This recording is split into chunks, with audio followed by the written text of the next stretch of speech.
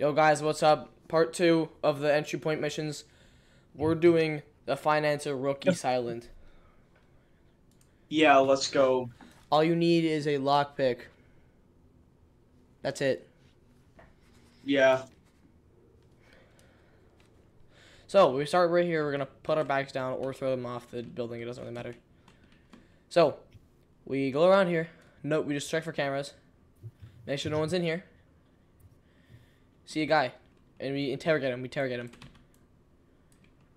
When we when we're finished, so he'll he'll give us he'll give us where the safe location is or where the code of the safe.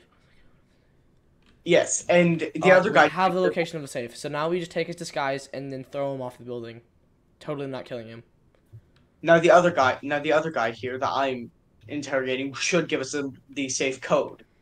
If or well, we got the code already, so it should give us the safe location. Then hmm they did not have any new information. There's only a chance it gives you the code. In um, in Iron Man's, it should be guaranteed, but Yeah, in Iron Man, in Iron Man's, it is in Iron Man rookies. It is guaranteed that that he will give the safe. That they will give the safe and then the location. Okay, so oh dang it. Um, so there's the the power box. The alarms are on, so we can't go in yet. We need to find the power box and rewire it. It's just around the house somewhere. Yes. It's not actually over Make sure here. you're disguised as them so you can go inside without being caught. Found it. I I'm not sure if it might change, but okay. Ryan Trahan is watching me. It's Ryan Reynolds, stupid idiot. Come on, get it right. Okay. now we can open. Now we can. now we can yeah now we can go in here.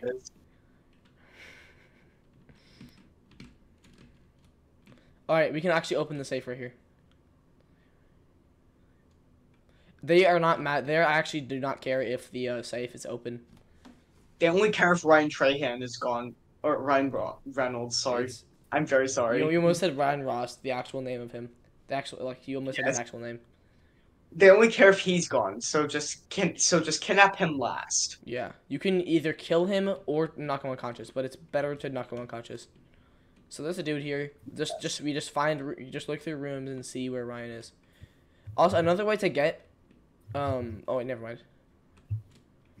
So just stay out of sight. Don't look at people in the eye. That's just how you win. Just make sure you can find him in a secluded area. Right there we go. All right. Um. I'll, I'll, I'll lock this door. Come here. Just came there. Alrighty. Boom. And now we only have like we only have like two minutes maybe before they get there, but the exit's right here.